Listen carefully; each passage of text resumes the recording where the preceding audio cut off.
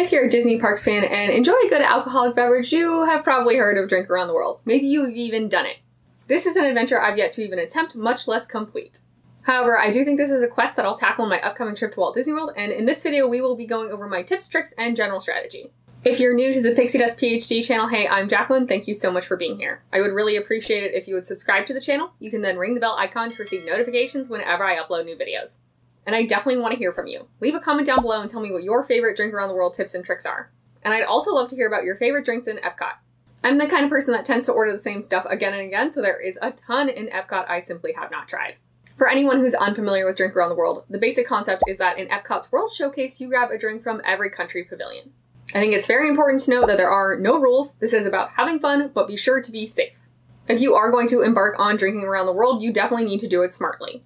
Make sure you're well hydrated and well fed before you begin, and continue to hydrate and snack throughout.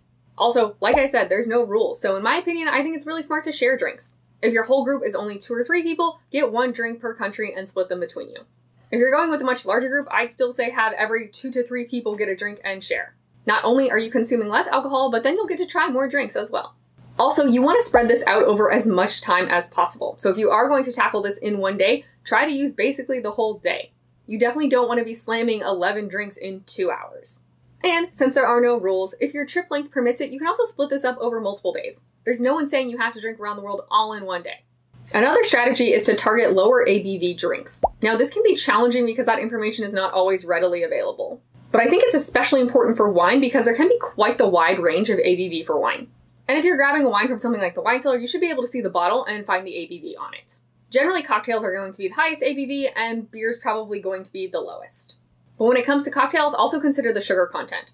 I know for me, those super saccharine, fake sweet drinks make me feel not very great even after just a couple. So if you're trying to drink around the world, you probably don't want to consume too many of those if you're like me.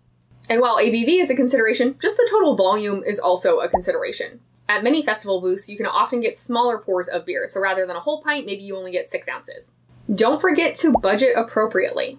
This is going to be an expensive little adventure. Most drinks are going to run you about 8 to $15 a drink, so you really want to have set aside at least $100 for this, if not more like 130 to 150. Because don't forget, every other pavilion or so, you should probably also be buying a snack, and that's going to add to the total cost. Personally, I also think it's worth your time to plan your route of attack in advance. We'll talk a little bit more about that later. And remember, this is about having responsible fun, so don't get sloppy. You absolutely need to be of legal age to drink, and you absolutely should not be driving. Follow all of the resort policies and just generally be respectful of your fellow guests and cast members. There are 11 official pavilions in the World Showcase, and you'll often hear controversy or hot takes about do you start in Canada or do you start in Mexico? This also applies to drink around the world. Where are you going to start? What route are you going to take? Personally, I don't think there's any wrong answers, but there are considerations to be had. A key one for me is that I don't want to go bouncing around World Showcase all day. I kind of want to start and do the loop and then be done. Now, if you want to get a lot of steps in or you want to take those boats all the time, sure, you can go ahead and bounce around. But for me, I'm thinking more of a linear-ish path.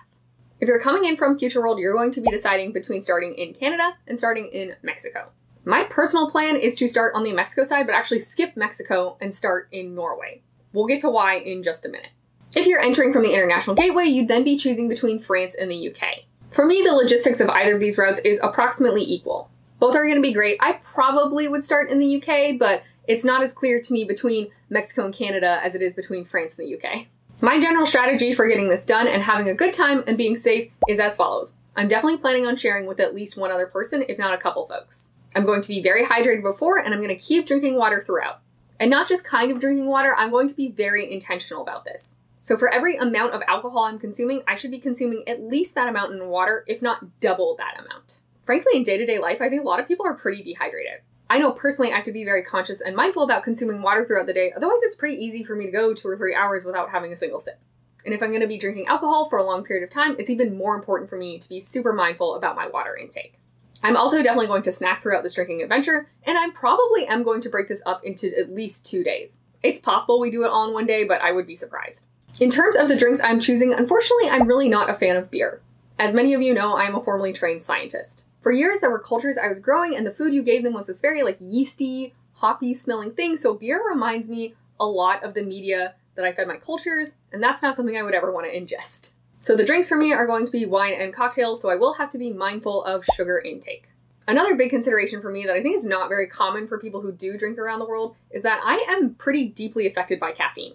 I do not drink coffee on a regular basis. I can handle a shot of espresso pretty fine, but an actual coffee or more than about maybe one and a half shots of espresso, and I can actually feel it in my heart. I really have to be mindful about caffeine I'm consuming if I want to avoid those body feels. And this caffeine consideration is the primary driver of my route choice. If I'm coming in from Future World, again, I am going toward Mexico, but skipping Mexico and starting in Norway. That's because in Norway, I'm getting the Viking coffee, a caffeinated beverage. Following that, next up is China, where it's highly likely that I'm going to Joy of Tea and getting the Tipsy Ducks in Love, also a caffeinated beverage. So I might not feel great right after that, but at least I'm getting these caffeinated drinks out of the way right away, and I have like all day to recover from them. I'm also not the kind of person that can consume caffeine at 5 p.m. and still go to sleep at a normal time. I will be up until 4 or 5 a.m. most of the time. So for me, I definitely want to start with my Viking coffee and then probably also get that Tipsy Ducks in Love early in the day. If after that Viking coffee, though, I can already feel the caffeine kicking in and I don't want to double down on that in China, I would probably get a cocktail at whatever the festival booth is at the China Pavilion at the time. Next up is Germany, where I am almost surely getting wine either from the festival booth or the wine cellar. You do have to be careful about ABV in wines though. Some of those Gewürztraminer ABVs get pretty high up there. Italy also has a ton of great options. Usually the Italy Festival booth features an Italian margarita, which is super good, but that line can get really long, and I'm guessing at this point in the day I'm getting impatient with lines. To avoid those festival lines, I probably would end up grabbing my drink from the Gelati cart or from Tutto Gusto Wine Cellar, which honestly is such a gem of a place.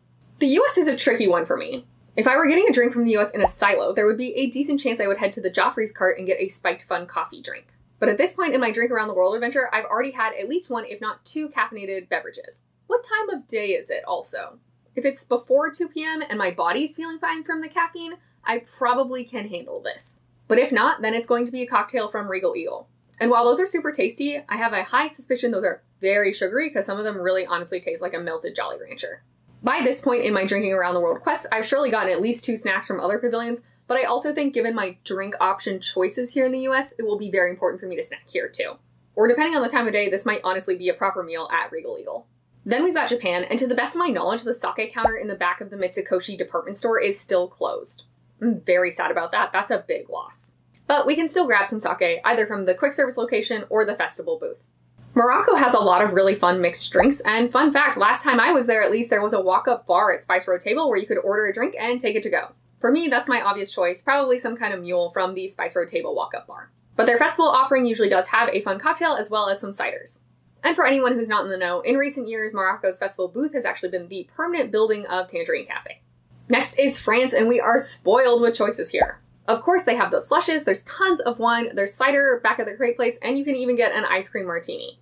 Depending on the weather, I think my heart would probably want one of those alcoholic slushes, but that line also can get very, very long and move super slow.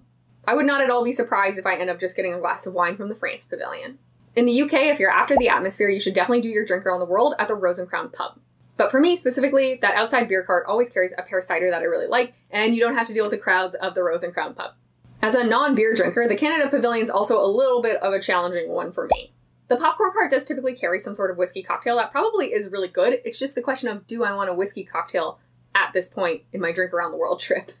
If not, there's probably something else at the festival booth I can grab, but yeah, this one's not ideal for me this late in drink around the world. And then finally, we end in Mexico, which we skipped over at the start of our adventure.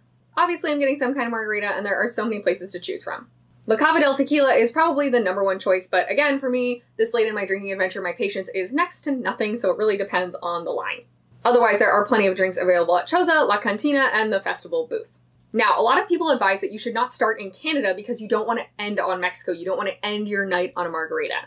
I think this is extremely individualistic though, because I often end my night with margarita when I'm drinking out with friends at home, and I'm always fine. Personally, I would rather end with a margarita than start with a margarita. But definitely to each their own, you do you, and you know what's best for you in terms of your drinking style. That's an overview of my most important tips, tricks, and my general strategy for drinking around the world. I would love to hear about how you tackle drinking around the world if that's something you've done before. And regardless, definitely clue me into what your favorite Epcot drinks are. I am sure there are some gems out there that I have never even considered trying. Thank you so much for watching. I super appreciate you being here. May the rest of your day be magical, and we'll see you real soon at Pixie Dust PhD.